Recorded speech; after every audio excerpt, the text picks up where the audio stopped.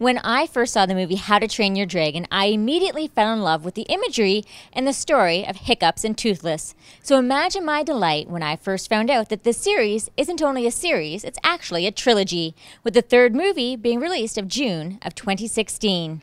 I'm pretty sure I'm not the only one enchanted by this movie, considering the whole entire original voice cast from the first movie has returned for the sequel. I'm pretty sure it's pretty obvious right now that How to Train Your Dragon 2 is your movie moment for today. We've really got to work on your solo gliding there, bud. Toothless!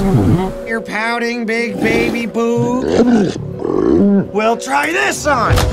Oh, you feeling it yet? Yeah, yeah, you wouldn't hurt a one-legged. Ah! It's been five years since Hiccup and Toothless successfully united Vikings and dragons on the island of Berk. Now, while the rest of their friends are challenging each other to dragon races, the island's new contact sport, the two inseparable friends spend their time journeying throughout the skies and exploring new worlds. While on one of their journeys, they discover a secret ice cave that is home to millions of wild new dragons, as well as the mysterious dragon rider. This ends up putting them at the center of a battle to protect both humans and dragons. This is amazing!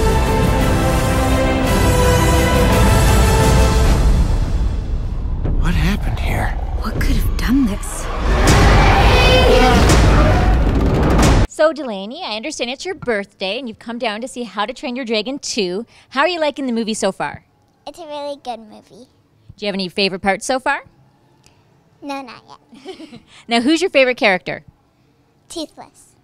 Tara, tell me a little bit about How to Train Your Dragon 2. What did you think of it?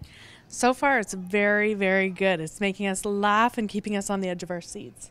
Now, did you see the original How to Train Your Dragon? We did, and we've been excited for the second one to come out. Do you have a favorite? Is the first one better or the second one better? So far, I like the second one better, actually. Normally, the first ones are the better movie, but I'm liking the sequel. I bet you think you know a lot about dragons. So, Piper, what do you think of How to Train Your Dragon so far?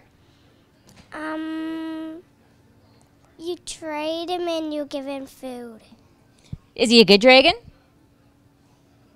Did you see the first movie? Um, Now, which is your favorite, the first How to Train Your Dragon or the second How to Train Your Dragon? the second how to train your dragon. So, Doug, tell me what you thought about How to Train Your Dragon 2. Oh, it's good. It's pretty funny. Do you think the first one's better or the second one? Um, I didn't see the first one to be honest. Uh, second one's really good though. It's funny. Any favorite parts so far? Um, the flying scenes are really realistic. I like that. Would you recommend this movie to everybody else out there? We'll come back, I'm sure. Unbelievable. You've been rescuing them. When offered the gig to direct this film, director Dean DeBlois originally said yes, but only if he could turn it into a trilogy. Since he was given the okay to make it a trilogy, he decided to make the sequel as a tribute to his youth. With Star Wars The Empire Strikes Back from 1980 having the pivotal inspiration for this film.